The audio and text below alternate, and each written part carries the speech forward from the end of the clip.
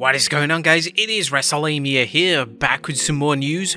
Boy oh boy, do we have some news. Join us now as Wrestlelamia looks at the wildest news stories and rumors you need to know, including Vince McMahon is officially back in WWE, the backstage reaction to Vince McMahon's return, is Vince ready to sell and who's gonna buy the WWE, The Rock at the Royal Rumble, and much more. Be sure to subscribe and hit that notification bell for daily wrestling videos and follow us on Facebook for exclusive lists. Also check out our new channel, Wrestlelamia Shorts. And now let's do the intro and get straight into our first story.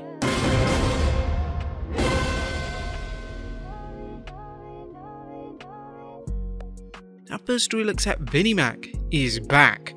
Yes, the rumors are true and Vince McMahon is back in the WWE.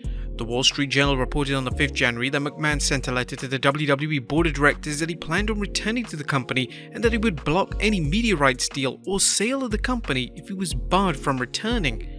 At first, Mr. McMahon is already back on the board of directors.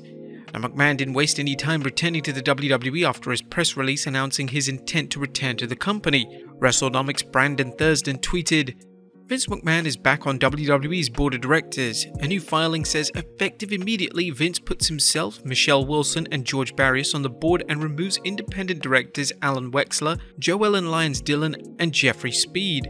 Wilson and Barrios served as the WWE co-presidents until McMahon fired them in 2020 and replaced them with Nick Khan.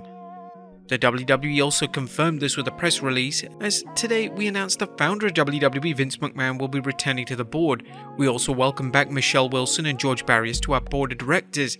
Together we look forward to exploring all the strategic alternatives to maximize shareholder value.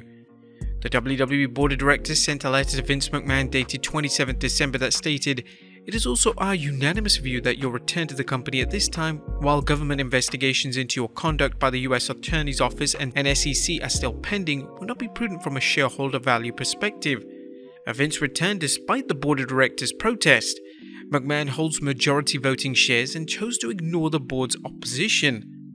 What was the reaction backstage? Well, Vince's return led to a big bump in the value of WWE stock, with analysts speculating it went up due to the perception that the WWE will be put up for sale soon. The WWE paused the sale of its stock briefly on Friday as the price continued to soar. Trading has resumed.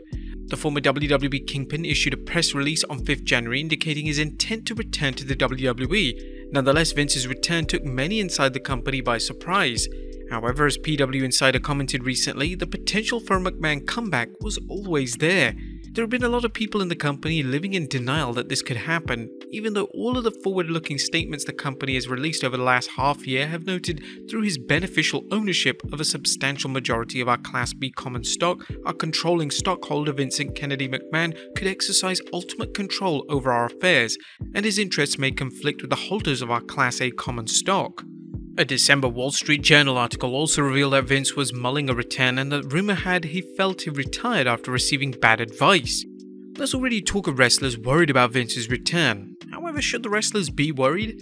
Well, it depends on whether Vince is looking to sell the company or help negotiate a rights deal. If McMahon is returning to facilitate a sale, he may not want to rock the boat by taking control back for creative. On the other hand, if he's using a sale as a pretext for a return to power, there could be many recently returned wrestlers who will be looking for work. Although the business world seems focused on Vince's return, one has to ask whether anyone is working behind the scenes to send Vince McMahon back to retirement. If Vince returns to his seat running the company, what does that mean for Stephanie McMahon and Nick Khan, the current co-CEOs, and Triple H, the WWE's chief content officer? In December 2022, McMahon sent a letter to the WWE expressing his confidence in the current management team. I want to be very clear that I wholeheartedly believe that the WWE has an exceptional management team in place. Stephanie, Nick, Paul, and the rest of the management team have my full and unconditional support, and as executive chairman. While Vince may be happy, he may also feel nobody does it better than him, regardless of how exceptional their work has been. On a lighter note, Vinnie Mac's grandson Declan McMahon, Shane O'Mac's son, posted his opinion on social media, saying, To be honest, W. Next up, WWE holding a meeting with employees. Vinnie Mac's big comeback is happening quickly, and Fightful Select Sean Ross Sapp is reporting there will be a WWE employee meeting today. Now, this should be quite the meeting, and we will continue monitoring the story. Can Vince pull off his return? The case can be made that Vince's return is part of his plan to sell the company. There's also the possibility he's using the sale or rights deal as a pretext to regain control of the company. However, Vince's return may not be as easy as it appears, a situation we discussed at length on our website. Consider some of these points. Number 1. The federal government launched an investigation into the activities surrounding Vince McMahon's hush money scandal. As mentioned before, it's unlikely McMahon would be allowed to exercise any authority while under investigation without opening the WWE up to liability from shareholders or perhaps even government officials. Number 2, if the board allows Vince back, shareholders could file suit, claiming the board of directors is not exercising its duty of care to act prudently. And number 3, there's also the possibility that McMahon's presence as a chairman of the board could create further lawsuits. After all, if a company brings back someone with a documented history of bad behavior, the claim can be made they are condoning a hostile work environment. Now, whether or not Vince McMahon cares about any of these possibilities is unknown. But if the WWE does go up for sale, who might buy it? Well, PW Insider is reporting NBC Universal, owned by Comcast, has always been the most likely company to me. In addition to having the USA Network, they also have Peacock. They also have NBC, which could become the home of pay-per-view broadcasts and other special events as it gets harder for networks to get eyes on programming. Also, by purchasing WWE, they would have control of the asset. They would choose who ran it and how they did so. They would also have control of how it would air and the cost of doing so built right in. Fox is also someone I'm sure the WWE would reach out to, as is Disney. The buyer that makes the most sense has the most important thing the WWE needs a place to air the product. It remains to be seen whether the WWE goes up for sale. If the WWE is able to put itself up for sale despite the Vince McMahon situation, who do you think will buy it? Next up, does a Royal Rumble poster hint at The Rock's return? Vince's return isn't the only news story in wrestling, as a recent Royal Rumble poster has some renewed observers believing that The Rock will show up at the upcoming PLE. Give Me Sports' Luke Collins recently discussed the poster and why some fans think it's a hint of The Rock's return. The likes of Brock Lesnar, Kevin Owens, Becky Lynch, Charlotte and Roman Reigns are clear to see, but the feature that has fans most excited is the electricity in the background. Fans believe that the background could signal the return of the most electrifying man in all of sports entertainment, The Rock. The WWE reportedly has backup plans in case The Rock doesn't show up, with Cody Rhodes picked as the most likely superstar to face Roman Reigns at WrestleMania should The Rock be unable to compete. But did they spoil Cody's Royal Rumble return? The aforementioned Royal Rumble promo poster has some fans upset as they believe it's ruined Cody Rhodes' so-called surprise return to the Rumble.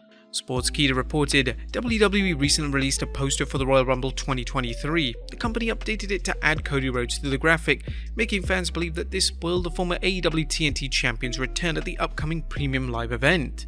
The WWE began airing hype videos for Cody Rhodes' return, so the idea that this poster somehow ruined his return seems questionable. But what do you guys think? Next up, WWE looking to sign former NXT star. A former NXT superstar is currently working in Major League Wrestling, but he could be back in the WWE. Edge Nduka, who's gotten rave reviews from management here, has his contract coming due imminently and there's interest in him from multiple promotions including WWE having expressed some interest in bringing him back. Nduka 34 is 6'5 high level bodybuilder and former college footballer who bounced around Canadian football, arena football and some NFL camps until signing with the WWE in 2018 and becoming Ezra Judge. And finally, WWE still negotiating with Naomi. Last but not least, this week's Observer has an update on whether Naomi has any desire to return to the WWE.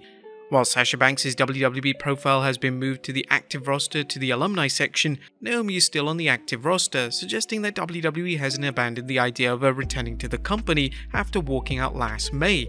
According to Meltzer, regarding Trinity Fatu returning, talks are ongoing but nothing has been signed as of midweek. But there you have it folks, the wildest news stories and rumors you need to know. Be sure to leave your comments down below, and I'll see you next time with some more wrestling content.